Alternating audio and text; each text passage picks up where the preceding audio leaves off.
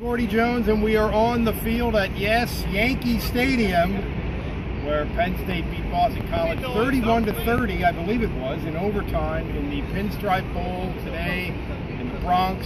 Unbelievably beautiful day for late December, and an unbelievably beautiful ending for Penn State to a game in which they trailed 21 to 7 in the second half. And then and then Christian Hackenberg became the 2013 version of Christian Hackenberg. Threw for 371, threw for four touchdowns, three receivers caught seven passes apiece. Four touchdowns went to four different guys. He threw threw to eight different guys, and all he just looked back to what he had been.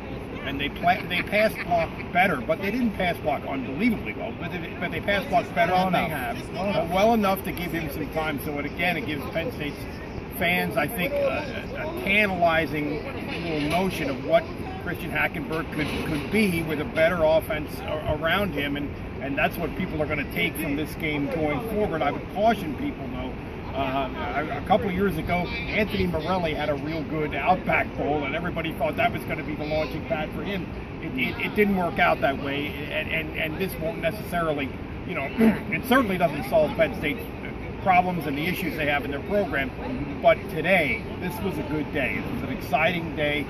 A lot of kids made a lot of plays, and the memory that I'm going to take from this is right over here. These uh, Penn State players doing the Lambeau leap onto That the New York Yankees dugout That was a pretty cool celebration. moment. Yeah, pretty cool. And I, and I think the fact that they blocked well after Miles Dieffenbach was lost for the game, Yeah. that says something. Yeah. I don't know what it says. I mean, I mean, one of the things I guess it says is something James Franklin said after the game that Ricky Rahne and Herb Hand had a real good hand handle on Boston College's defensive tendencies, and that seemed to really help. It did, and you know, we, we thought that one of the dynamics in this game we thought was Penn State's great run defense against Boston College's great running.